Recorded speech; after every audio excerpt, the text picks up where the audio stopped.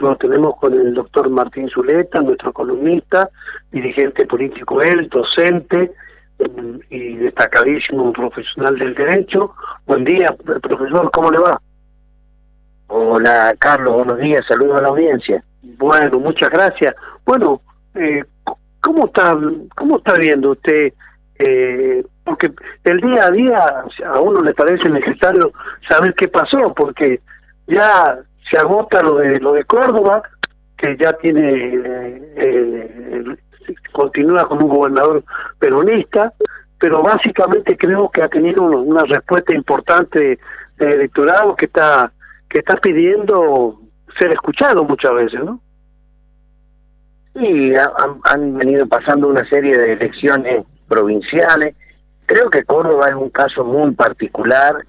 en el sentido de que si bien gana el oficialismo peronismo, peronista, perdón, debemos no perder de vista que se trata de un peronismo también equidistante del kirchnerismo y no de ahora, sino históricamente. Creo que esa es la impronta que ha, que ha sabido tener la dirigencia justicialista en, en la provincia de Córdoba y, y por consiguiente, si bien puede verse como una derrota para el para Juntos por el Cambio, lo sucedió en la elección cordobesa, tampoco lo podemos anotar dentro de los haberes o, de la parte positiva para el oficialismo nacional. Así que en ese sentido creo que la elección de Córdoba eh, eh, ha sido una elección, creo yo, esperable. Por ahí en algunos sondeos que hablaban de que Juntos por el Cambio podía ganar en Córdoba, pero bueno, se enrareció un poco el último tramo de la campaña con este amague de Schiaretti, de, o no de Schiaretti, del arretismo de incorporar a Schiaretti a Juntos por el Cambio, creo que eso de una u otra forma terminó jugando un poco a favor del de, oficialismo cordobés y en contra de Juntos por el Cambio en, la elección propiamente cordobesa. Pero bueno, vamos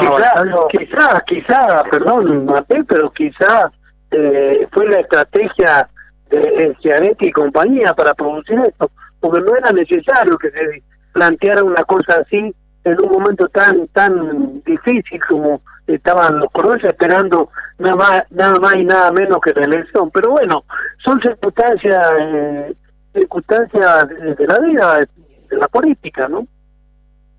y la, la la verdad que no ha sido si tengo que tengo que hacer un análisis eh, de personal, por decirlo de alguna forma, no ha sido eh, no ha sido feliz la la intervención de, de la reta en la en, el distrito de Córdoba con con estas intenciones de, de sumar Schiaretti. Creo que en definitiva eh, eh, es lo que es la percepción que tienen también muchos dirigentes dentro de Juntos por el Cambio. Eh, como Luis Juez estaba como más cerca de Patricia Bullrich, a lo mejor esta, eh, digamos, eh, intervención de la reta en Córdoba poco feliz no es para nada inocente. Usted sabe muy bien, Carlos, que en política, en política eh, nadie da puntada así, o sea, la realidad es que debe debe mirarse con un sentido político y creo que hay que hacer una lectura un poco más detenida de lo que ha sucedido en Córdoba porque habiendo una fórmula presidencial, sí, es decir, Schiaretti eh, eh, también eh, pretendiendo competir por la por la presidencia, creo que hay que fijarse y ver muy bien lo que ha pasado en Córdoba, porque eso puede significar una merma de votos para Juntos por el Cambio en la elección nacional. Ojo que Córdoba es un distrito que siempre ha sido muy importante en las elecciones nacionales eh, últimas para, para el sector de Juntas por el Cambio, para el macrismo concretamente, pero recordemos que se daba esta particularidad. que el oficialismo cordobés, el justicialismo cordobés ganaba las elecciones provinciales y el macrismo o Juntos por el Cambio o el PRO a nivel nacional ganaba las elecciones nacionales en Córdoba. Pero ahora tenemos uh, tenemos una, eh, una una cuestión más eh, en, en estas elecciones que se vienen, que también es que Areto iba a ir por la presidencia. O sea, hay que ver si esta estrategia de Schiaretti de ir por la presidencia no significará eh, una merma de votos para Juntos por el Cambio en Córdoba. O sea, es un, es un escenario que hay que mirarlo detenidamente, ¿sí? Sí, pero no, pero además creo que eh, uno dice, eh, no, pero el Queretti siempre ha estado distante del, del kirchnerismo y la estadística dice que siempre los diputados nacionales del kirchnerismo votaron a favor de, del kirchnerismo, no de, no de la oposición. Así que habrá que ver cómo, cómo, cómo sigue esto que estás diciendo vos, pero me gustaría saber cómo es San Juan. Y San Juan ya estamos en, en los últimos tramos de, de la campaña. Yo eh, a mí, a mí me ha parecido muy bien lo que han hecho todos los sectores políticos y esto los pongo a todos porque había muchas especulaciones con las dobles candidaturas. Creo que hubo mucho tiempo nosotros opinando sobre esas posibilidades y me parece muy bien lo que han hecho todos los sectores sobre resignar esas eh, intenciones de postularse para los cargos nacionales. Creo que eso le ha caído muy bien a los sanjuaninos, al electorado sanjuanino, creo que hubiera sido una muy mala señal que alguien se presente eh, con, con, las pretensiones de, de, tener una doble candidatura, aunque sí han habido dobles candidaturas, que, aclarando de que desde el sector del giojismo, Juan Carlos Gioja fue candidato intendente y Leonardo Gioja fue también candidato en la en la ciudad de San Juan, así que en ese sentido se han dado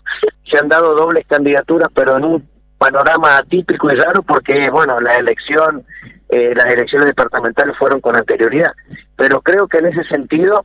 eh, he advertido, no sé si usted también lo advirtió, Carlos, que el sanjuanino ya se ha, en esta última semana, se ha puesto el chip como de, eh, de, de, elector, creo que se ha interesado un poco más por por eh, la campaña política en este último tramo. Creo que han pasado algunas cosas interesantes, han habido algunos eh, algunas maniobras poco felices con querer confundir al electorado con algunas pegatinas que han habido por ahí, pocas propuestas, ¿sí?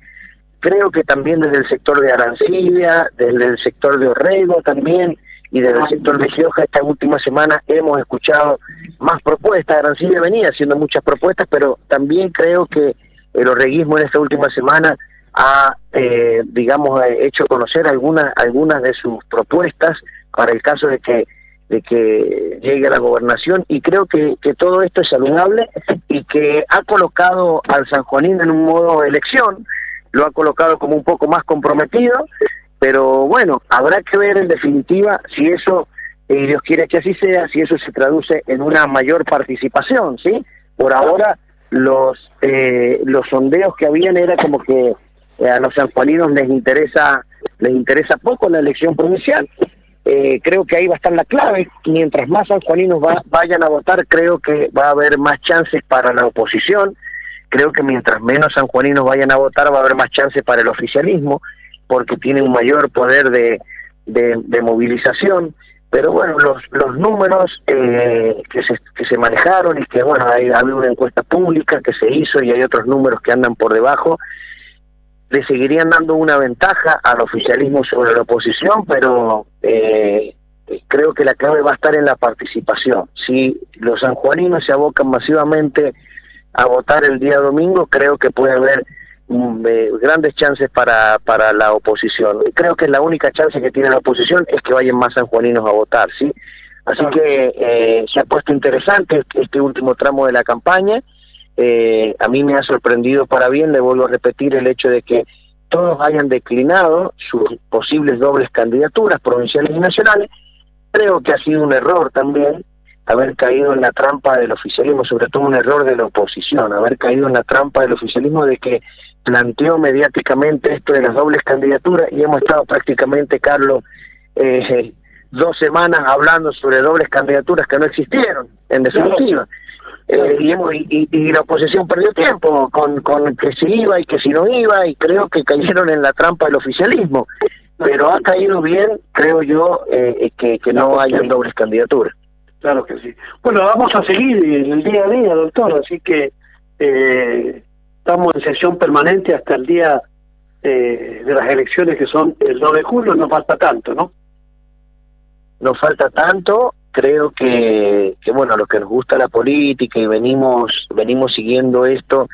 eh, es eh, una semana apasionante, eh, creo que es una elección, entiendo yo que tiene una ventaja del oficialismo sobre la oposición, pero con final abierto, en el sentido de, que la clave va a estar en, que, eh, como le decía recién, eh, más sanjuaninos se, se arrimen a las urnas. Eh, y bueno, y después viene todo el escenario nacional, que no hemos hablado ahora, pero también fue una semana donde se han presentado obviamente todas las eh, las, eh, listas para eh, los candidatos para las distintas categorías nacionales, senadores y diputados nacionales, pero ya vamos a tener tiempo a partir de la semana que viene de ponernos a analizar ese ese ese panorama, sí creo que eh, los distintos sectores han mostrado a sus candidatos, los han presentado también en sociedad, han hecho algunas conferencias de prensa, pero todos han concluido en que el fuerte de la campaña nacional va a comenzar después del día domingo cuando terminen las elecciones provinciales. Claro que sí. Te mando un abrazo, doctor. Carlos, un abrazo a usted, a la audiencia y estamos eh, a su disposición.